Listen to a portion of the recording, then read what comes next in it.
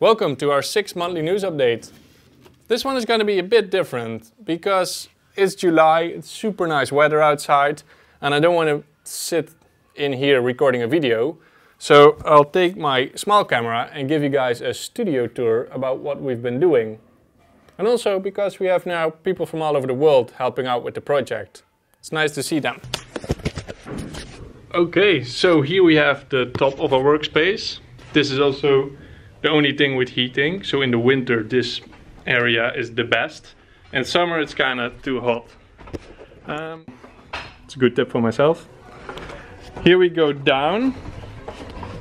And here we have our good old friend from Mexico. Hello, my name is Alejandro Luna. It's Taco. and he's currently cooking some Mexican dish. Calabacitas, sí. Excellent, excellent. Here we have Mattia, Hey Dave. our Italian. Italian, yes. What are you working on, Mattia? Uh, right now, a number of things. Uh, well, mainly the website. The website for the new version, version 3, that is gonna come out. Sorry, quick break. I use this small camera to record the video and the microphone is actually on top, but I like to hold my camera like this. So every now and then the sound is a bit fucked. Sorry for that. More realistically December, I would say, but Dave might be arguing with me on that. And that includes a brand new map that we're developing with uh, NZ Chickens and others from from Australia. That's usernames from people. That's a username, yeah, exactly. And so that's super exciting and useful, uh, we think, for people to connect more on a, on a local base. And uh, we're going to be able to connect uh, both people that want to get started and people that already have, have started. And on top of that, we're also working on a very exciting new feature of the new version, which is the marketplace. So we try. We call it bazaar, right? Bazaar, yeah, exactly.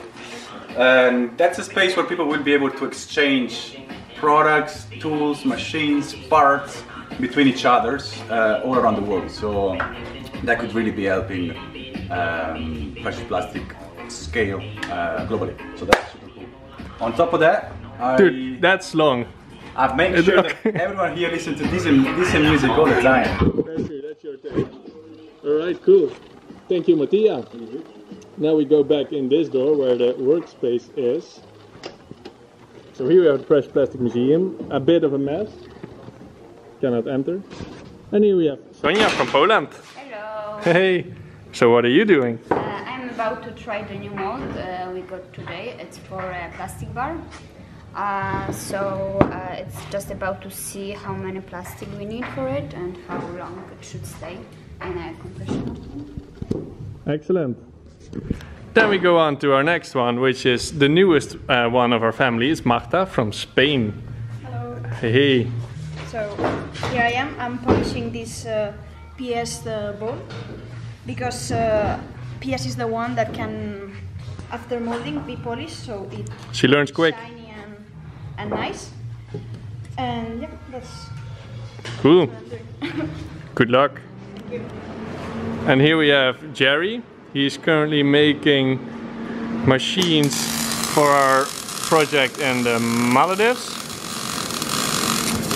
Um, yo, Jerry. Anything you want to say about it? It's gonna be strong. It's gonna be strong. All right, perfect. Here we have uh, Bjorn from Iceland, and he's working with bags. Yeah, uh, here are my latest experiments.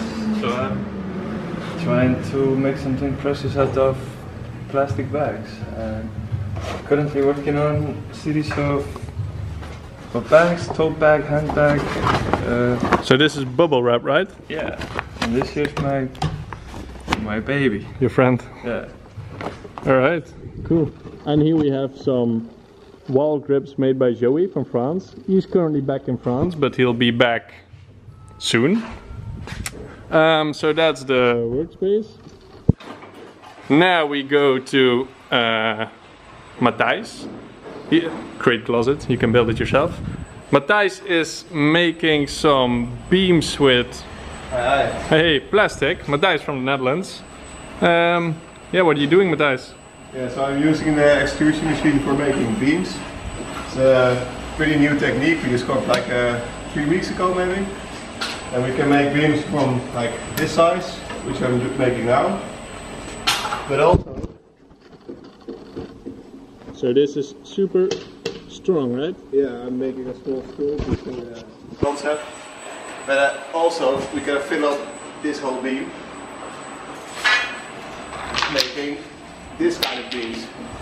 Pretty long and way longer than a machine, so that's something uh, pretty cool as well. Yeah. So it's like a new technique. We just need to find more applications on what to construct with all these tubes. Yes, But it's cool. yes, it's Give me this camera. Now, Dave, you're gonna show us what you've been working on for the past Alright. couple of weeks. So I've been working on this baby, You're super dark. uh, the container. Mm, well, basically you've seen Exciting. it last month's update. So we cut in some holes so we can open it up. And the plan is that people bring their plastic waste, then the machines are inside, and at the end it's being transformed into something new. And this thing is going to be shipped probably to the Maldives, other little islands, to work with all the ocean plastic. Uh, yeah. So tell us about that door, because uh, on the internet it looks like no one is really attempting to rise a door vertically. They usually do it turns out to horizontally. And be kind of a challenge to do that um, because it's kind of heavy, but we managed to get it done with some gas springs, and we will share all the blueprints on how to do it with you guys later on as well, so you can do it as well.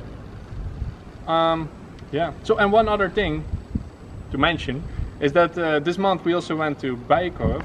It's a it's a big store in the Netherlands, like a fancy store. Because on the one hand we're providing people all the tools to recycle plastic, but we also want to show people that plastic is valuable and a resourceful material and not as cheap and disposable. So this is a super fancy shopping mall in the middle of Amsterdam. And we've been asked to make a shopping window in front of the store where they usually display all this fancy stuff. So we brought a lot of precious stuff ourselves. Big bags of plastic waste. And we're gonna put them in this window. So this is backstage. And then here we have Amsterdam with the crew. And here we have our plastic waste. So we made this installation in a big shopping window where on the one hand you see plastic waste and on the other hand you see this precious valuable object which we handcrafted and polished here um, to show people plastic is a valuable material.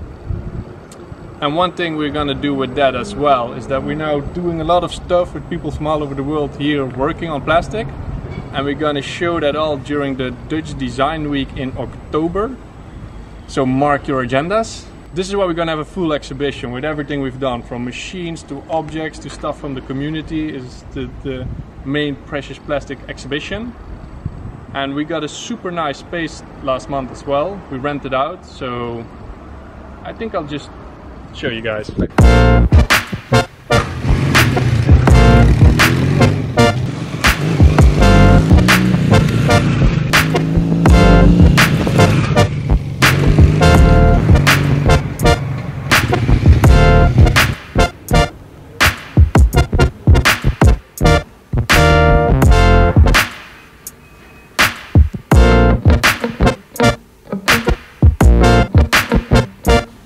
This entire space is gonna be ours.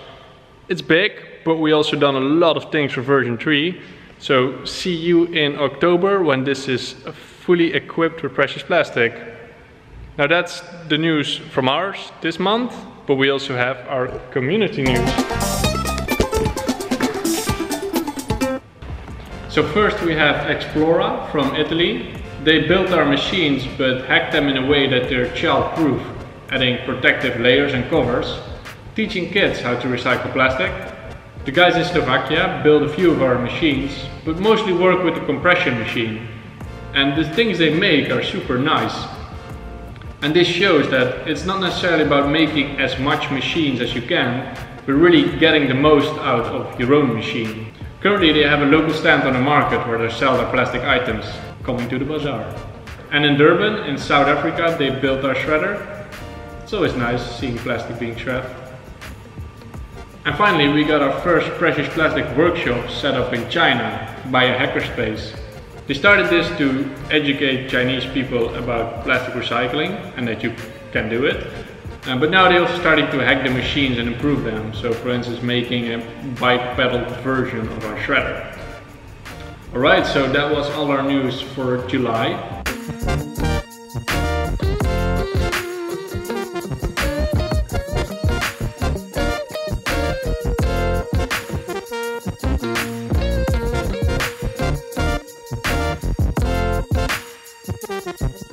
A lot of stuff is still in development and we're working towards our deadline in October.